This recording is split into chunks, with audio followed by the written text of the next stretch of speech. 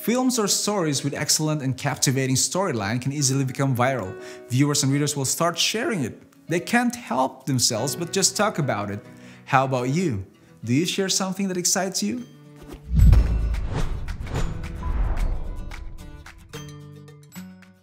Hi, Keo Dovann here, and welcome to another episode of Week at a Glance, where we dive into a thoughtful summary of this week's Bible study guide. And if you don't have a copy of the study guide, then be sure to check the link below. In this episode, we will talk about sharing the transforming power of God's Word. I remember discovering for the first time that the Adventist Church in Australia was making a movie on Adventist history. I was so excited that I started telling others about it, although the production of the film was still in its infancy. The film was released two years later with the title, guess what? Tell the World. And I was so excited to see such an exceptional high budget Adventist film. And even to this day, I'm still sharing this film. The story of the Bible and its transformative power has been shared throughout centuries. And at the center of this amazing book is Jesus, its ultimate purpose to reveal Jesus. How has this book impacted your life? Here are the important points to remember for today's episode. The first one is studying the Word. Throughout history, you see the hand of God taking the initiative to communicate His plan of salvation to us, starting with the patriarchs, the prophets, and then ultimately through Jesus Christ. And aside from these people, God has also employed His preserved Word or the Bible to convey His message to us. The Bible is a record of God's acts in history, a transcript of the life and also ministry of Jesus. Remember that you and I are witnesses for Jesus, and the Bible is the source of our witnessing. It is here that you get to know about Jesus, and it is also here that you find the clearest and the fullest revelation of Jesus. And through your study of the Bible and by constantly laying your eyes on Jesus, God is able to transform you. Throughout the Bible, God used symbols to make things easier for us to understand what the Bible is and also its message. There are several symbols that are used to express the primary functions of God's Word. A lamp to light our path, like fire and hammer that consumes and smashes hard hearts to pieces, bread that is essential to life, it also, of course, satisfies the hunger of the soul and like a seed. This one right here is actually my personal favorite. God's word, like the seed, is life-giving. Sometimes it grows fast and at times it grows very slow. But silently, the seed is growing. And when the time is right, it will produce a new life, a transformed life. What is your personal favorite symbol of the Bible? A lamp, fire, hammer, seed, bread, or maybe another symbol that you find in the Bible, please let me know in the comments section below. I would love to hear from you guys. I believe it would be interesting to see all the different reasons and also all the different symbols. The Bible is not like an IKEA manual on how to assemble your life, although we find helpful guidelines and also instructions in it. It is much more than that. It is a life-changing book. It has the power to transform your life and not just assemble it. Now let's move on to the next point to see how this actually happens. Point number two is applying the word. Just like a little seed, the word of God grows within you. The life in that seed starts to germinate.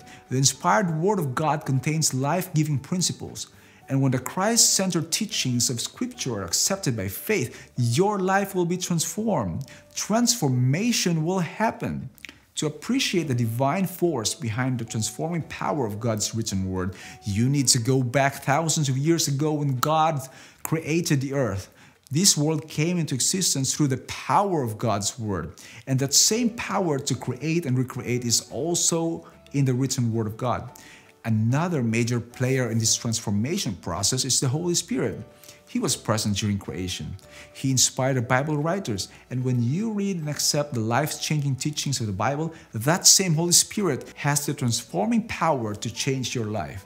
Now, take steps to apply God's Word in your life as you read the Bible. Start by maybe asking, What is God saying to me today? Or do I need to make a change? Do I need to take action? It is by faith that you accept the principles and promises of the Bible. It is also by faith that you comprehend the character of the God who loves and cares for you. However, it is lack of faith in God's ability to do what He has promised in His Word that limits the fulfillment of God's promises in your life. Your interaction with God and His Word will lead you to become a better witness for Him.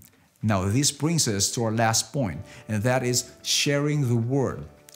It is a natural tendency to start sharing something that has a dramatic impact on your life. If God's word has done that to you, then see to it that the lives of others will also be impressed by its beauty. In sharing God's word, there are a few important reminders to take note of. First, Jesus must be the focus. The entire Bible centers on Jesus. The Old Testament looks forward to Jesus. The New Testament is a fulfillment and at the same time looks back to Jesus. Second, our role is to share the beautiful promises and teachings of the Bible. The Holy Spirit will do the conversion. And third, keep these biblical principles in mind. The content is very important, what you say. But aside from that one, the manner is also very important, how you say it. And last, the timing, when to say it. And even when the Holy Spirit moves you to share, there are times when you feel reluctant to share God's word. In moments like these, please remember that the Holy Spirit who has inspired you to share has already prepared the hearts of others to receive your message. And just like sharing a film or a story or even just some part of it to friends or even strangers, God invites you to share the wonderful story and truths of the Bible. In summary, here are the different points that we talked about on the transforming power of God's Word. Studying the Word, applying the Word, and sharing the Word. If you find this episode helpful, then please share it with a friend. Spread God's Word and change lives one message at a time. And if you would like to know more about how the Holy Spirit can make you limitless, then click on this video right here. Share God's Word, be a witness for God. This is again Keo Dovann for Week at a Glance. I'll see you again next week.